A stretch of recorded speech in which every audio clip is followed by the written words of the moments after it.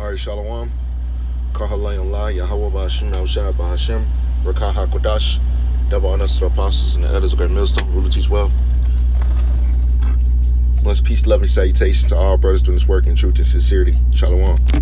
This is the Brother Patak back again through the Spirit with another lesson. Lord willing to be edifying. Um, as you can see, I have pulled up before you um, the scripture, no, not, not the scripture, word omnipotent. Now, the word um, omnipotent means almighty, possessing infinite power, because we believe in a power, a God that is able to do any and everything, you know. Um, and and we don't we don't call upon the Lord's name in vain, you know. And the heathens, the other nations, they don't understand that there is a God in Israel, the true God. That is able to do anything. So the word omnipotent means almighty, possessing infinite power. Almighty is is not the Lord name, Lord Yahweh Almighty. You know, it says all powerful. Um, it's from directly from the Latin omnipotent which means all powerful, almighty. Because the word um, om, omnis is all, and potence means powerful. So the Lord is all powerful. So, you know, and through this lesson, I'm to get some precepts to back up what the scripture says. What that backed up that definition. Luke chapter 1, verse 30, 37. It says, For with the Most High, nothing shall be impossible. You know, so there's no such thing as something being impossible. You know, because with Yahweh Ba'ashim Shah, it is possible. And that's and that's the message. You know, that's that's what we come to tell you. We we believe in a God that is able to do any and everything, man. You know, if he created the heavens, he created the sun, he created the moon, he created the stars. How hard is it for him to do the simplest things, you know?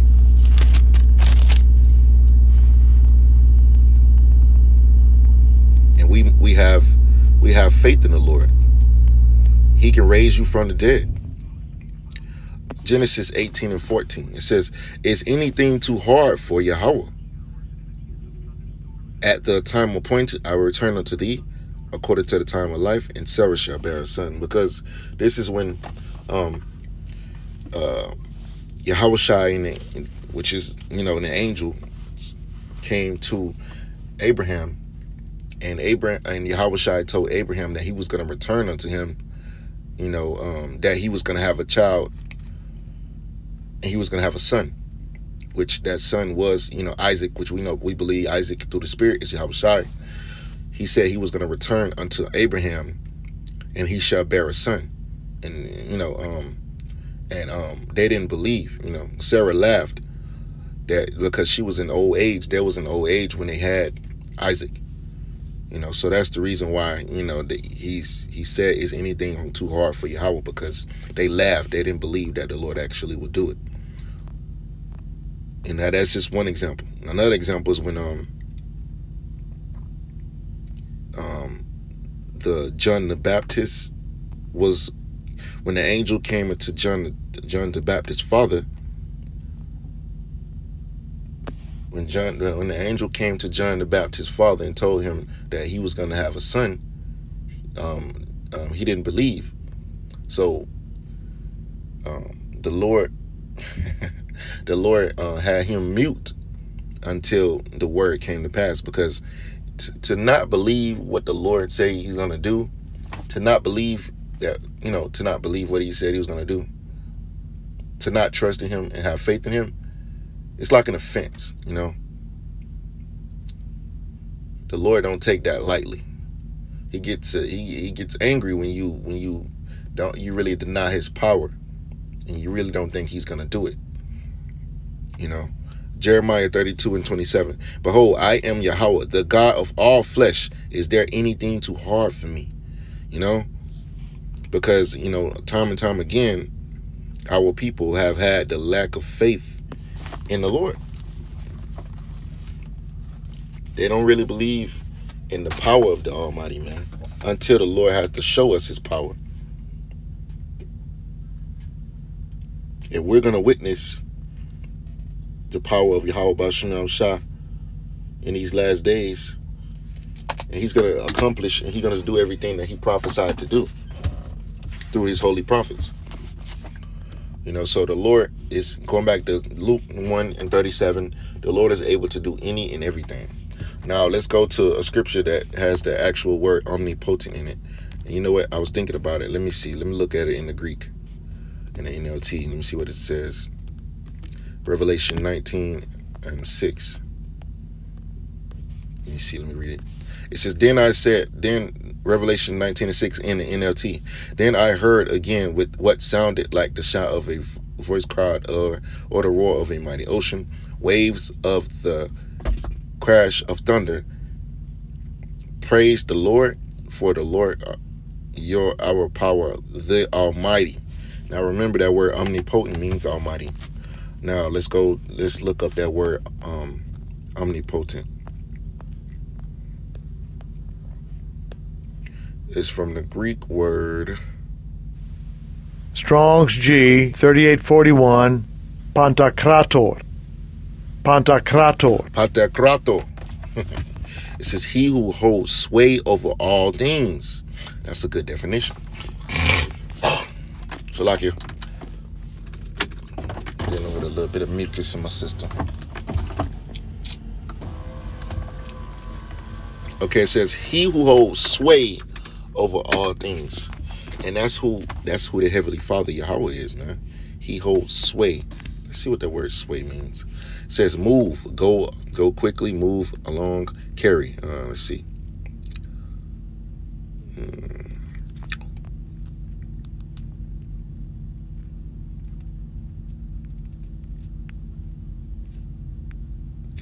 Okay, it's a good figurative, sense. Cause to be directed toward one side, prejudice, and that's exactly what the Lord is doing with Israel. You know, he's he's um he's a lot he's being prejudiced towards Israel because he want who to win Israel. He's giving Israel the sway. that's hey, that's a beautiful definition. Okay, um.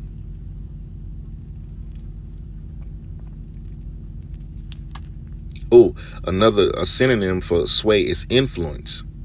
You know, so Yahweh Bashim Shai has a heavy influence in the earth. Now, another definition would be uh, sway. It says rule, govern, dominate, control, direct, guide. And that's exactly what the Heavenly Father Yahweh is. Okay, it says from the noun, jurisdiction, rule, government, on sovereignty, dominion, control, command, power, authority, domination, ascendancy. So that's what Yahweh Bashim Shah says. Okay, down here where it says phrase, it says hold sway, hold power, wield power, exercise power, rule, be most powerful, be in power, be in control, predominate, have the ascendancy, have the greatest influence, have the upper hand, have the edge, have have slash hold the whip hand. to inform or run the show, be in direct, be in the driver's seat, be in the saddle. And that's what the Heavenly Father has. He has sway. So all of those definitions are beautiful. Okay, he who holds sway over all things, the ruler of all, almighty power. Okay, it says all ruling God as absolute and universal sovereign, almighty, omnipotent. Um, he who holds sway over all things, the ruler of all, almighty.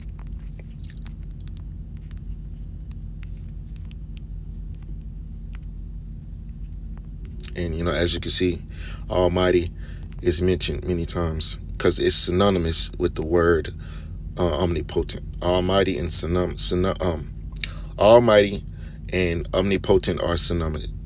I'm saying that word so wrong. They're they're one and the same. Synonymous with each other. If I believe I'm saying that word right, forgive me. um, let's go to Sirach, book of um, Sirach, chapter 18, or Ecclesiastes, chapter 18. Is it 18? It's actually 19. 19 and um, start at 18. Sirach 8, 19 and 18. It says, The fear of the Lord is the first step to be accepted of him, and wisdom obtaineth his love. So, um, the fear of the Lord is the first step to Yahweh Shah. Now, I want to bring out this real quick precept because those who are in the power seat, they must fear the Lord. You know, and um, Esau, Edom, the so-called white man, he does not fear the Lord. This is Second Samuel chapter 3. No, is it 23? Second Samuel 23. I think it's 23.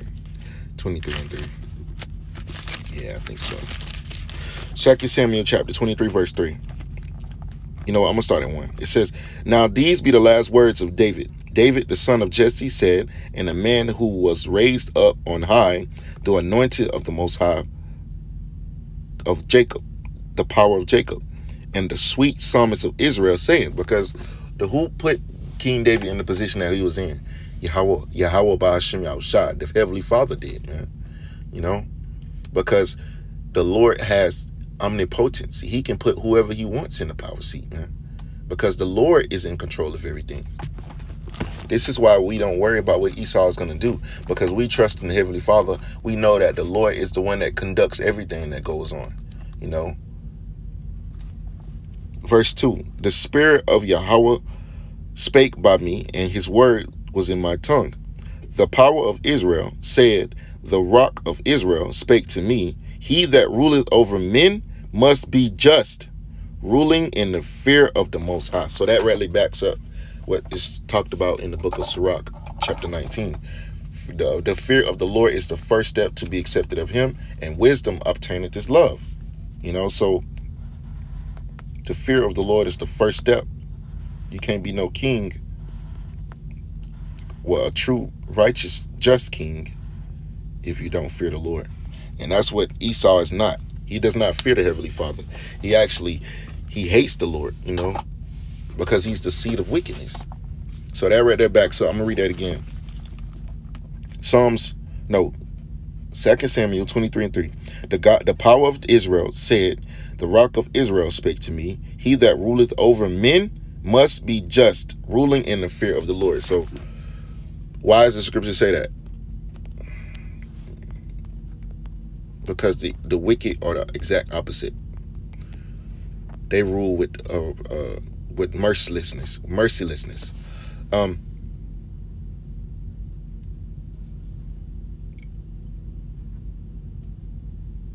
Surah, uh, here it is, Proverbs 28 and 15. As a roaring lion and a raging bear, so is a wicked, wicked ruler over poor people. And that's exactly why the ruler of a people must be just. Because if he's wicked, he's gonna rule like a roaring lion, like a raging, raging bear. You know, like a it's like a maniac. You know, and that's how Esau rules over the earth. He's an unfit ruler. He destroys the people. He destroys everything. Sirach 10 and 1. A wise judge instructed his people. And that's Esau not no wise judge. He lies to the people. He he creates psyops and um, tricks the people, have people um, fall into his medium, which is the media, you know, spreading lies, hypocrisy, spreading spreading all kinds of bullshit, not telling people what's really going on in the world, you know, and not telling people, you know, casting the wool over their eyes, man. Deceiving the whole world. Because that's how Esau rules, by deception. He, so he's not instructing his people. If he was instructing his people, they, they'll be keeping the law, statutes, commandments, but they're not.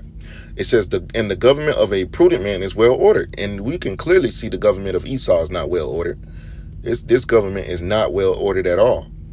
Verse 2 As the judge of, of the people is himself, so are his officers. So if the judge is wicked, then the people are going to be wicked, and the officers are going to be wicked. It says, And what manner of man the ruler of a city is, such are all they that dwell therein. It's another scripture that says something like that. Let me see. It's in Proverbs.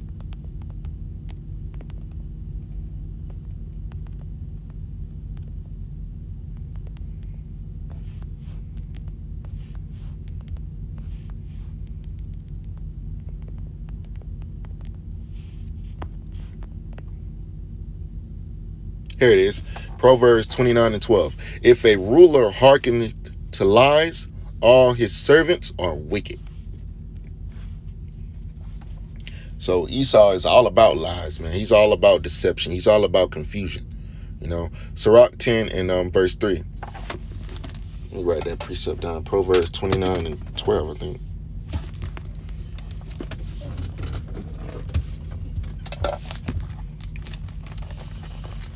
I was done Second Samuel anyway, so I'm gonna go ahead and um Proverbs 29 and 12. Yeah, I already got that highlighted. Um Sirach 10 and verse 3. An unwise king destroyed his people, and that's what Esau is doing. He destroyed the people of America. They're strung out on drugs. They're they're um they're strung out on drugs. They had a dependency upon the government assistance. You know, they they destroyed because by way of the food. They destroyed by way of religion. They destroyed destroyed by way of homosexuality. This everything that's that consists of America. You know, the feminism, feminism, abortion.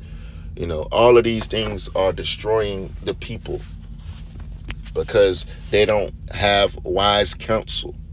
Wise counsel only comes from the Bible. You know, and these people in the world, they don't have wise counsel because they don't listen to the Bible. Because what? The ruler of America does not listen to the Bible. So they follow whoever's in power. You know, the people are nothing but herds of sheep. What is that saying? The um they got their sheeple. They're they're sheeple. They're docile. If you look up the word sheep, which I'm gonna do right now real quick through the spirit. Because I looked up this word before. Now the word sheep. Um, I'm trying to um, find my point. Mm, no, that's not up there. Okay. It says from Old English as a type of timid, timid, timidity, and figuratively of those under the guidance of the Most High. The the meaning stupid, timid person. Let me see. So the people are sheep. I mean, they're they're stupid. the people are stupid.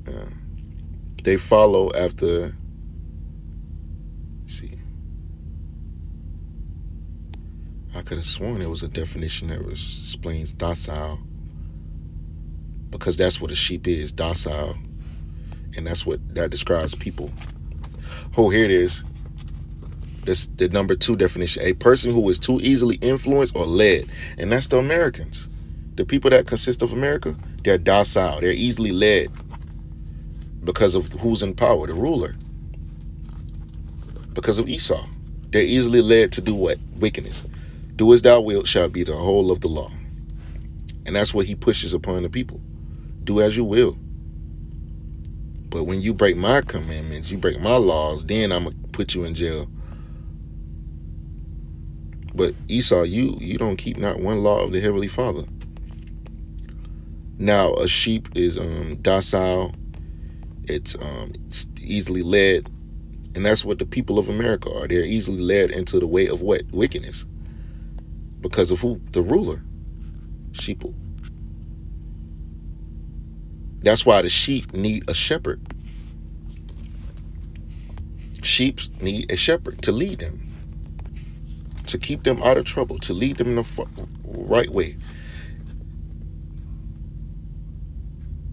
Oh, another good definition is um, a person regarded as a protected follower of the Most High, you know, which is going to be who? The elect. Okay.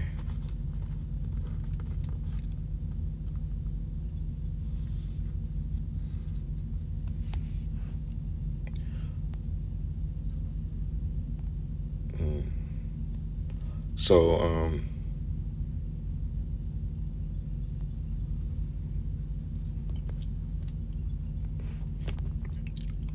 that's I believe that's all I have for um sheep. A person who is let who is too, easily too easily influenced or led. So that that's talking about you um the inhabitants of Babylon the Great. All right, Sirach chapter 10 um verse 3 an unwise king destroyed his people but through the prudence of them which are in authority the city shall be inhabited because we don't have they you don't have no choice you know we can't we want this devil up off you know, off the leadership role, you know, because he's not fit for the he's not a fit ruler.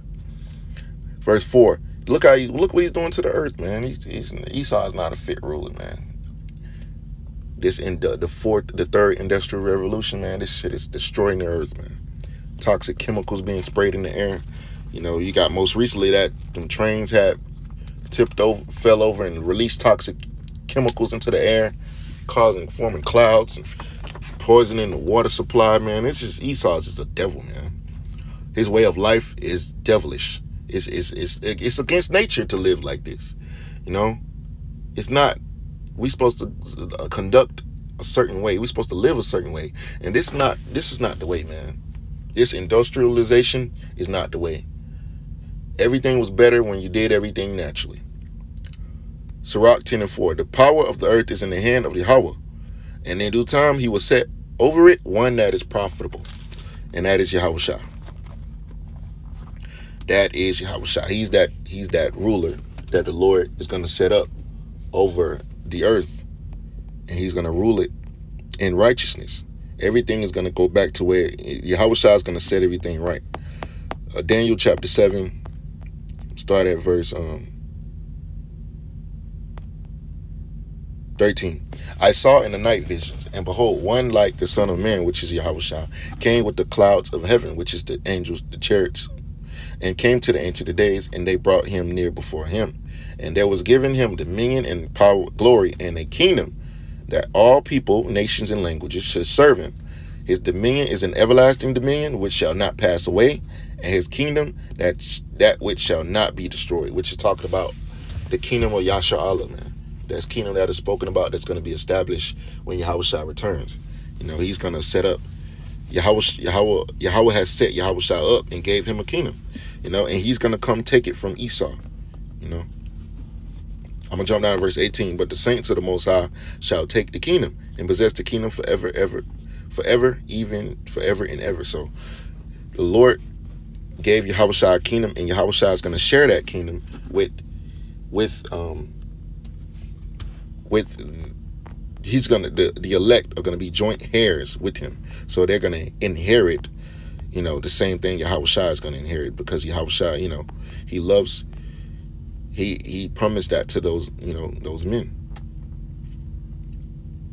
Sirach chapter 19 verse 19 the the knowledge of the commandments of the Lord is the doctrine of life so this is talking about the law statutes commandments of the scriptures you know, a lot of people say that the law is done away with, but it's really not done away with.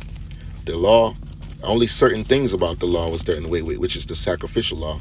We don't have to sacrifice lambs and, you know, things anymore because Yahweh Shai was that ultimate sacrifice according to the book of Hebrews.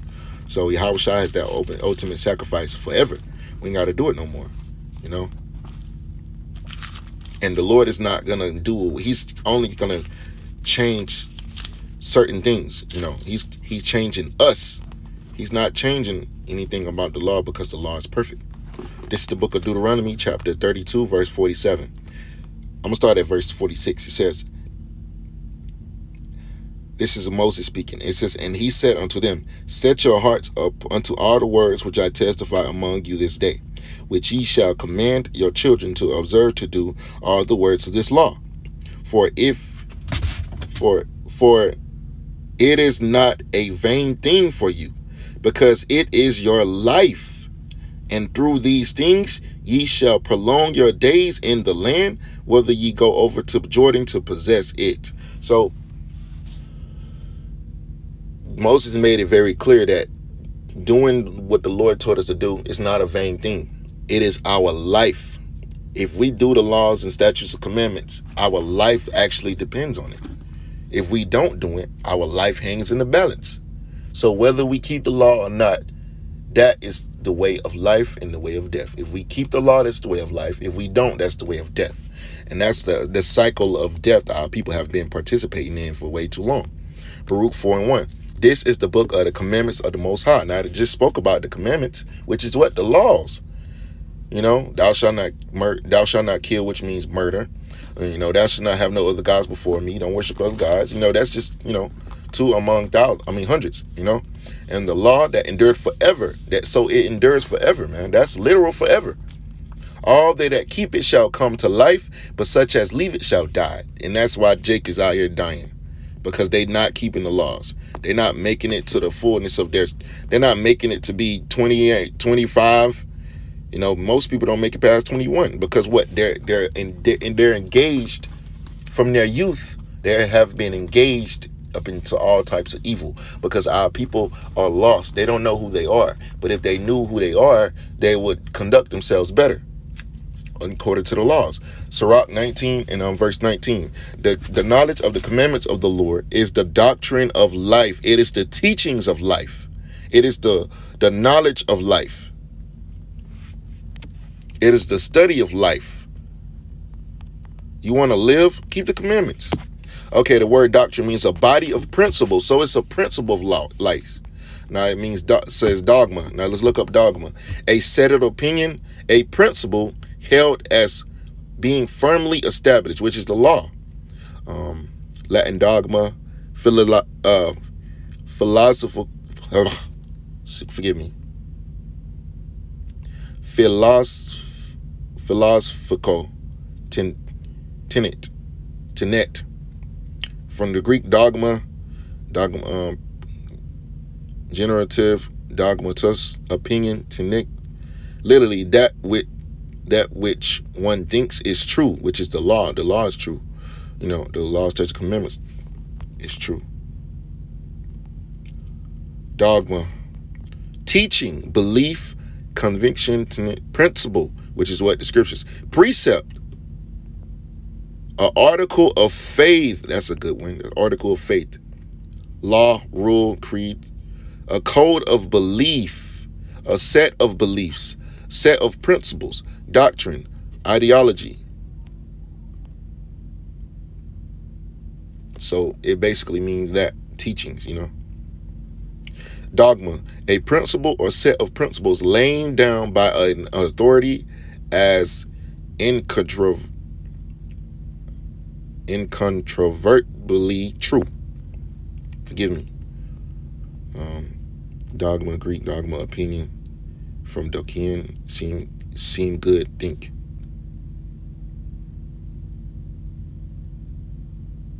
Incontrovertible, incontrovertibly, give me.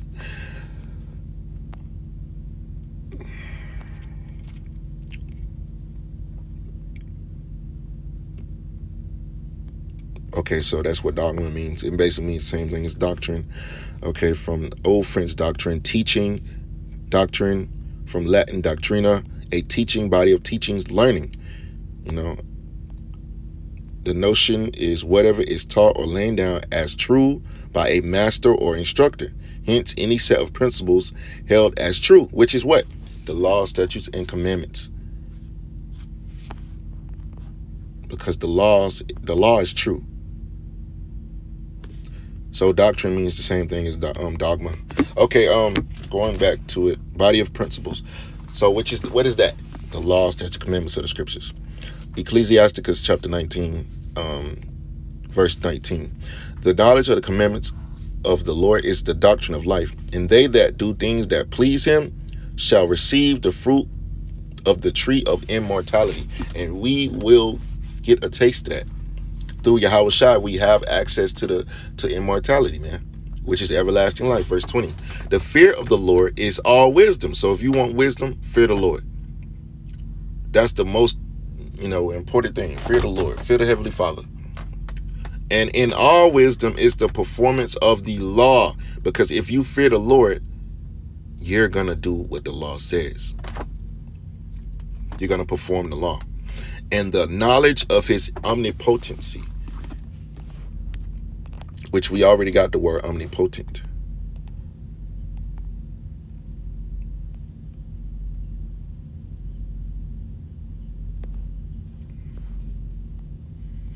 Omnipotence.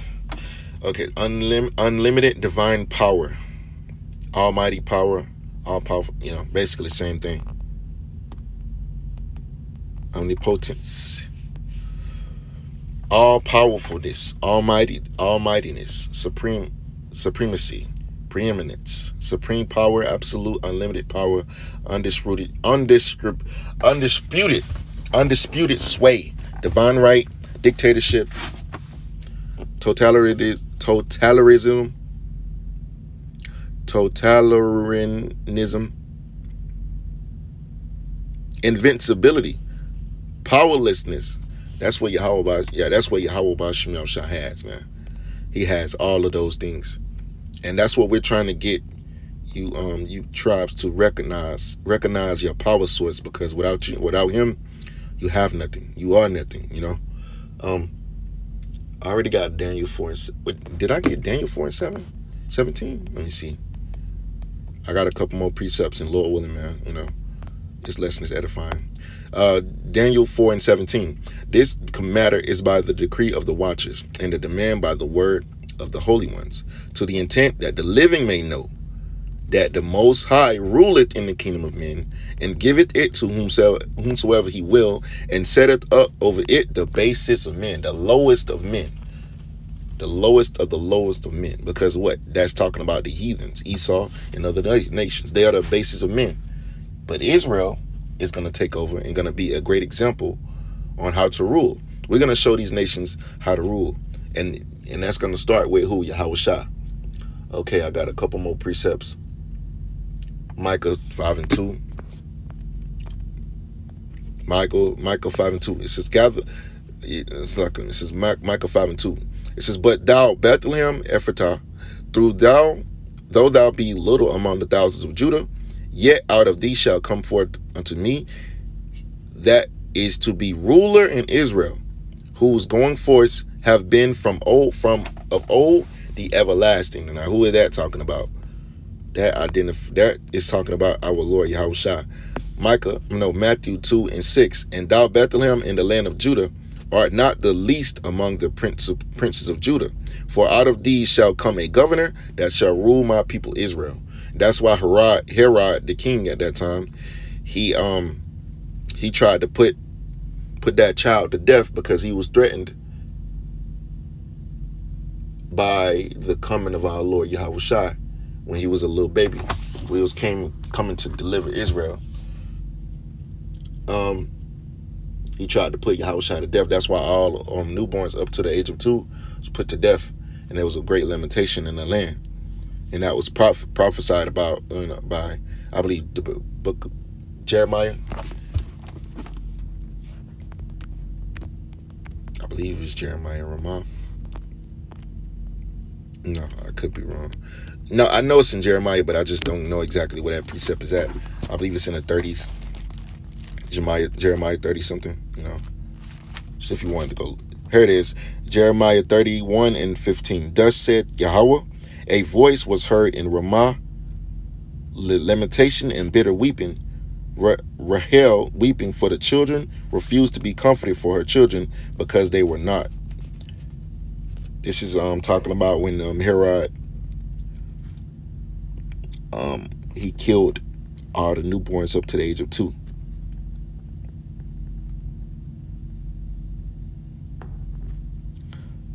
Let's see.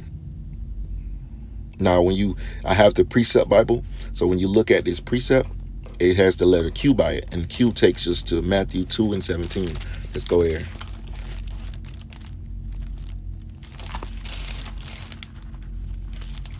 this just backs up, you know, what I was bringing out through the spirit, how it was limitation in the land because Herod killed, you know, all the newborns up to the age of two. That's why Yahushua and um, Mary and um, Joseph had to flee until into Egypt. Micah, no, Matthew chapter 2, verse 20, wait, 2 and 27? 2 and 17, it's like it. Micah, Matthew 2 and 17, it says, I'm gonna start at 16. It says, Then Herod, when he saw that he was mocked of the wise men, was exceedingly wroth, and sent forth and slew all the children that were in Bethlehem and in all the coast thereof from from two years old and under, according to the time which he had diligently acquired of the wise men. Then was fulfilled that which was spoken by Jeremy the prophet, saying, In Ramah was there a voice of voice heard, lamentation and weeping and great mourning, Rachel weeping for her children and would not be comforted because they were not. All right, so that that really backs up the scripture. I read that in my Bible. So um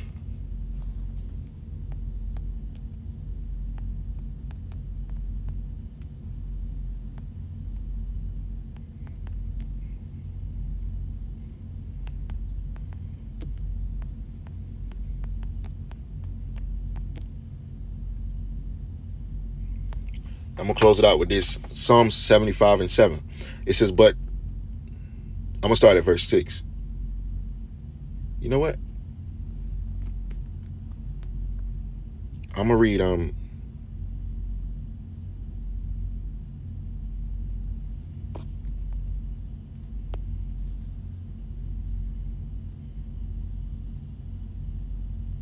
I'm gonna start at four. It says, I said unto the fools, Deal not foolishly and to the wicked, lift not up thine horn.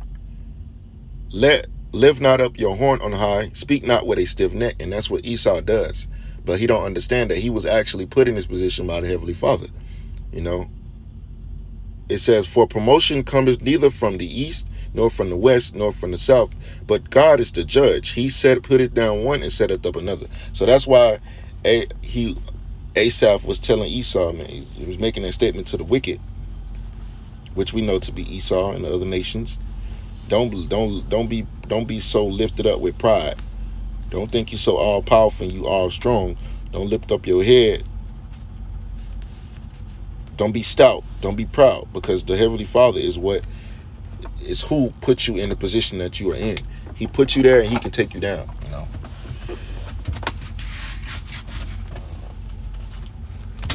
So don't don't deal so foolishly. And that's what what does the heathen do? They deal foolishly. They don't deal justly or righteously. They deal foolishly. Because what? They they they're heathens, man. They don't understand that that the omnipotency of the Heavenly Father. So, Lord willing, this lesson was edifying. You know, Lord willing, you see the important role that the Heavenly Father plays in everything that goes down in the earth. You know what? I'm gonna get it. I'm gonna close it out with one last precept. Isaiah 45 and 7. It says, I form the light and create darkness. I make peace and create evil. I, Yahweh, do all these things. So the Heavenly Father, Yahweh, has a heavy influence in the earth. A heavy influence inside the earth. You know, nothing goes down without his uh, approval. The Heavenly Father approves everything that, that, that goes down.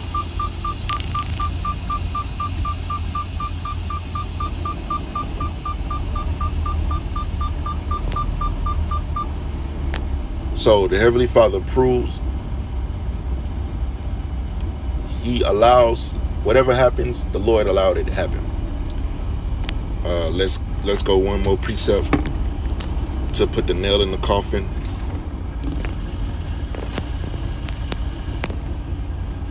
First Corinthians chapter 13, verse 10. No, no, it's 10 and 13.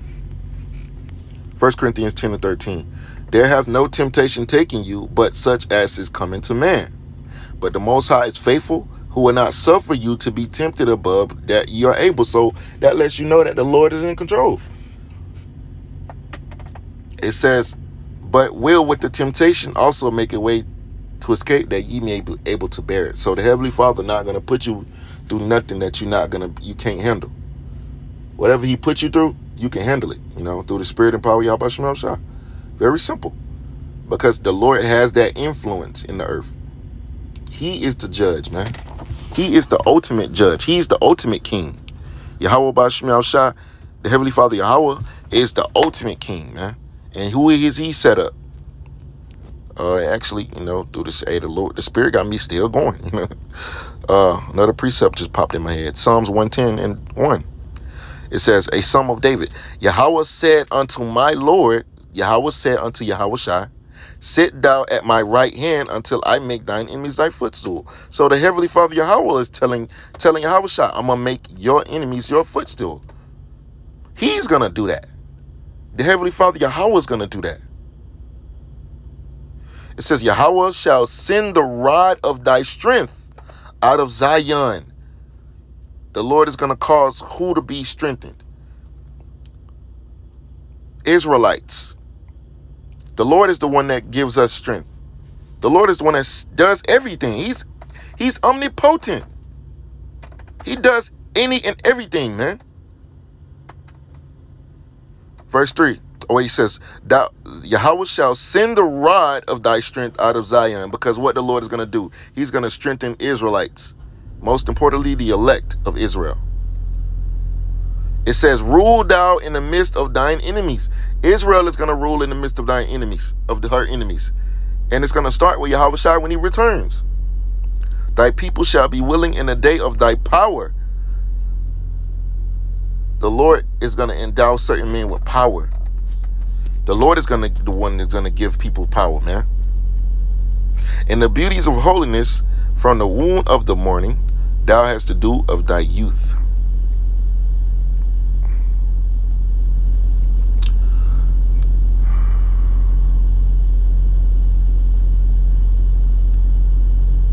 Um Isaiah 40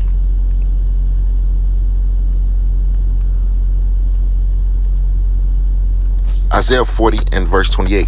Has thou not heard? Has thou it. Has thou not known? Has thou not heard that the everlasting power, Yahweh, the creators of the end of the, end of the earth, fainteth not, neither is weary. There is no searching of his understanding.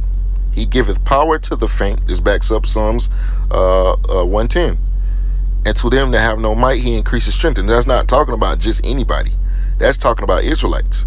Because we are the ones that are weak. We the ones that are uh, being smitten and have nobody to deliver us. You know? We the ones that are uh, constantly always a victim or a suspect. It says, He giveth power to the faint, and to them that have no might he increases strength. Even the youth, youth shall faint and be weary, and the young men shall utterly fall. But they that wait upon Yahweh, because why are we waiting on Yahweh? Because he's the one that's going to give us strength shall renew their strength. They shall mount up with wings as eagles. They shall run and not be weary, and they shall walk and not faint.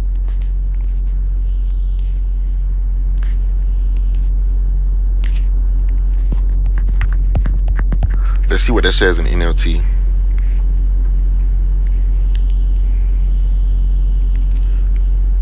Isaiah 40 and um, 40, 29 in NLT. It says, He gives power to the weak and strength to the powerless. Even youth shall become weak and be tired and tired, and young men will fall in exhaustion. But those who trust in Yahweh will find new strength.